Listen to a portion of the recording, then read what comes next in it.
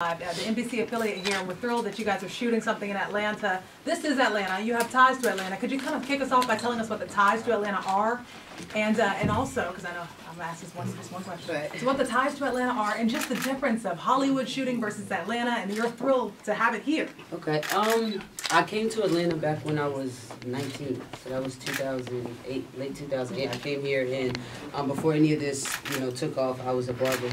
I've been cutting hair since I was 10 years old. So um, I started here uh, at 19 working on MLK um, at a barbershop called Philly's Finest, and that was kind of where I developed Breezy. I mean, I knew who I was all along, but Atlanta really was the, the, the place that, you know, catapulted me into being just, you know, star-like. You know what I mean? I made all my connections here. I wasn't a person's hair that I didn't cut in this city.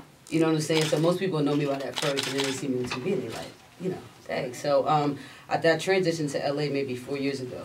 And um, I was there doing the same thing, cutting hair, working on my music, and uh, got the call one day about, you know, an audition for Empire. So that stuff literally happened in a matter of 72 hours. So to go from, you know, just being a barber and an aspiring artist, I kind of immediately, you know, shot to the top. So uh, to get into that, um, getting on a production set, I actually filmed in Chicago first. Um, you know, Empire is a very prestige company. I mean, it's Fox, you know, so big money, big budget, you know, everything is like very top notch. So uh, I spent most of my time shooting there. I have shot in LA, but to come to Atlanta, it feels more home. It feels more like home. It's like it's comfy. I know where to eat. I know, you know, the, the vibe is just totally different. But uh, Hollywood is a little bit more. Uh, I don't know. I know that's uh, Bougie. uh, it's not it's not bougie, but it's just different. I mean, because Atlanta. I mean, look at everybody in this room. This is an African American city. You know what I'm saying? Like we make Atlanta. This is this is this is a place where we know we can come. We can start from the ground up. We can rise to the top, and you know we're just so unified in this city. And LA's not the same way. You know what I mean? It, so to to an extent, it is cliquish because you have those who already had it and you know oh you're not cute enough or no you don't have enough talent or you can't do this but atlanta's not one of them places. So to see that film you know television music everything kind of coming back to atlanta i think is the greatest thing because there's been so much potential in this city all, all along. So now it's forcing people here. And you gotta come you know what i mean? So i'm happy to be here. I'm happy that you know swirl is choosing to you know just be one of the you know, major production companies here in the city. So glad to be working with that. So Breezy, tell us a little bit about your character, Denise.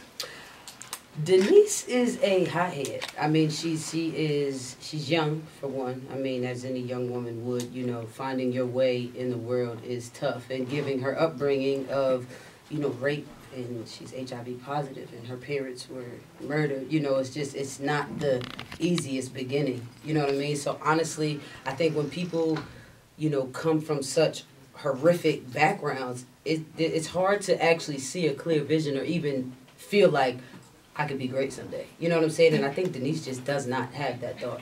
She just doesn't. I mean, it, like, what, what's, what else, what more can happen besides me dying? Like, I've been through hell and back, and I'm still here, still going through hell. You know what I'm saying?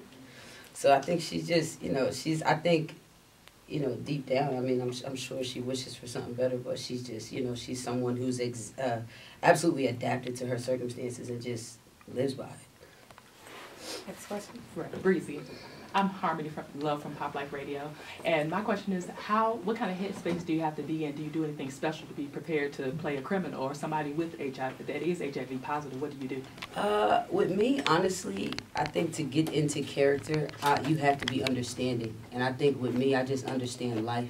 I understand circumstance, and I definitely understand reality. So I'm never, you know, whether I've been raped or I haven't been raped, I'm still a woman.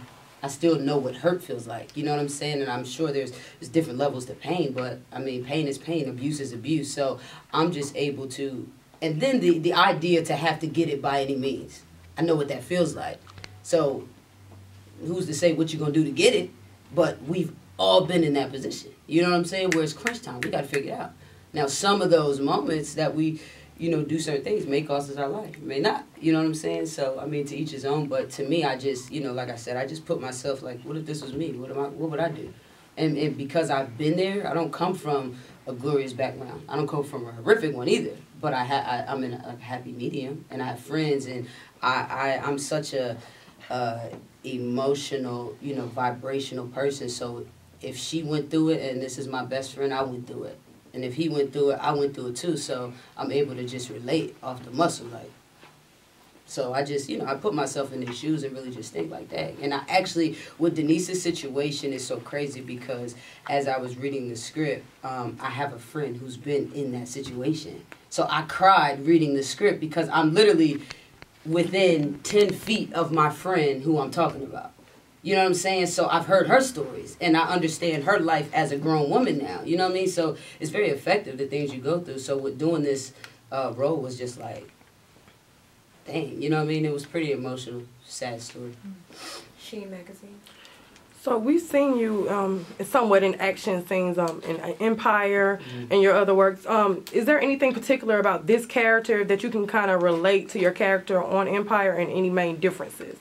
Um, I just think overall, you know, Freda Gatz of Empire and Denise um, Brown, they they they're semi similar. Mhm. I mean, because again, we still have this story of the young girl finding her way. We still have it. You know what I mean? And and we us women, we've all been through that. You know what I'm saying? And everybody's uh, road traveled is going to be different, but we all have the trial and the tribulation of that. We have to figure it out. You know what I'm saying? We all we battle our femininity, our masculinity. You know what I'm saying? And and we try to solidify our position in this world. You know what I'm saying? So I think that both of those characters did the same thing. Um, I, I, I, I mean, they could just as well be identical in Yeah. in, in you know shooting for the same star. You know what I mean? But I think the end goal is to just get out Right. to just get out, get away. You know what I'm saying? And I think they want better, but you know, some people just they got to deal with what they got to deal with.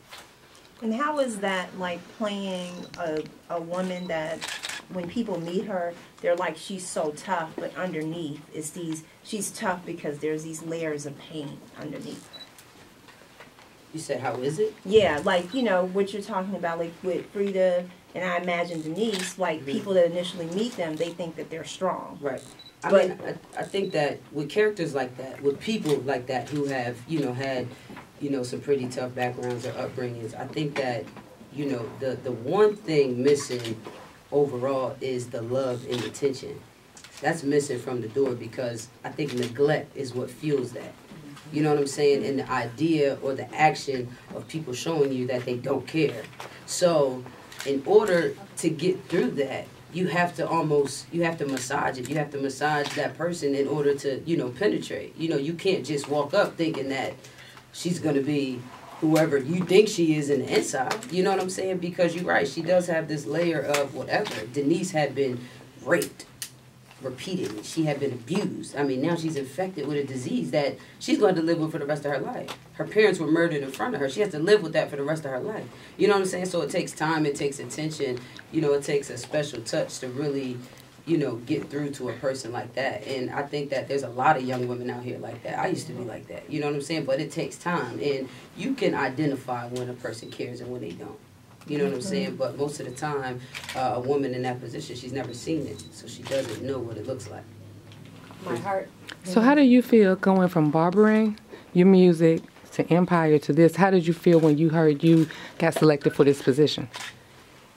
How did This I part. feel about the role, Denise? Uh-huh. uh to get this role, um, playing Denise Brown for me was just it was amazing because I think that overall the work that I do is so influential to young women, and and I think for me my purpose is bigger than what the cameras capture or what the you know people hear or whatever. It, it's it's a it's to guide in some sort of way. It's to guide, and all of these stories that I'm able to just jump into are very relevant, and and these are these are things that in entertainment aren't really touched on. Right, They're not. People don't shed the spotlight on that girl. right, They don't. You know what I'm saying? And there is, you know, I do a lot of public speaking in children's homes and things like that because I know what's missing. hmm You know what I'm saying? And and and if I could give it to you, then that's what I'm gonna do. So I love. I will play these roles over and over and over until we see change in the way our women are brought up. Right. And that's what's most important to me. I have little sisters. I have nieces. You know what I'm saying? And and this is important because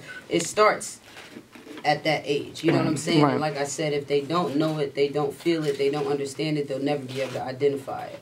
You know, and people could say what they want about women who choose prostitution or, you know, choose drugs or alcohol or any vice like that, but they don't know.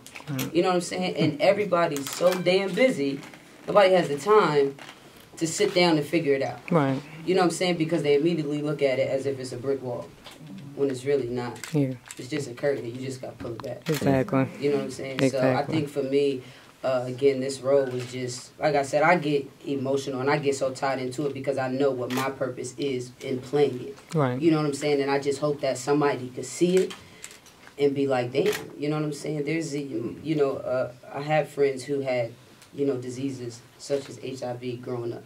You know what I'm saying? What do you do? What do you tell that girl? Right. You know what I'm saying? She can't mm-hmm. have a boyfriend. You know what I mean? You know how society is today. It's just messed up. You know what I'm saying? So I just feel like, you know, the writers and directors of today's world, you know, they're starting to open their minds a lot more. It's starting to be, the content is becoming very much realistic. You know what I mean? And we're able to really identify with it. Given your Thank you. musical background, do you have any in- input into the score for the film? Um, on uh, some, well, with, it depends on what the role is. Honestly, you know what I'm saying. And sometimes I don't even want to take that approach, you know, because it's it's it's a lot to do both. If I just if I come on to your job and say I'm gonna do the character and I'm gonna do TV, you looking at a dead woman walking. I ain't gonna be able to sleep. You know what I'm saying? It's just so much that goes into that. You looking at a 16, 18 hour shooting day. When are we gonna do music? When we gonna get some sleep? When we gonna eat? You know what I'm saying? So um, there's times when I can. There's times when I can. You know, but uh,